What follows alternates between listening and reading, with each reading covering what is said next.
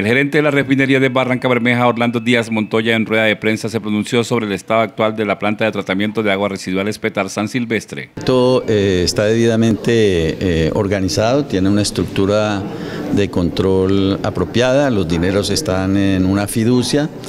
y eh, se, erogan contra ejecuciones eh, concretas, previas revisiones tanto por eh, la gerencia del proyecto, que es Aguas de Barranca Bermeja, como también por parte de Ecopetrol en las revisiones y en la rendición de los informes que Aguas de Barranca Bermeja debe emitir previo a la facturación. Según el alto ejecutivo de Ecopetrol, ha habido algunas situaciones administrativas que han significado dificultades que deberán superarse. Esos son asuntos administrativos que se surten dentro del desarrollo normal de los proyectos. Eh, Aguas de Barrancarmeja eh, está pendiente de emitir una certificación de la recepción oficial de algunas de esas eh, cosas, pero no es una cosa que vaya a generar ningún impedimento para continuar adelante con el desarrollo. De acuerdo con lo que la información que tenemos de Aguas de Barrancarmeja y según consta en las actas de acuerdo que se han hecho previamente al inicio de este importante proyecto en su fase de ingeniería, detalle y construcción,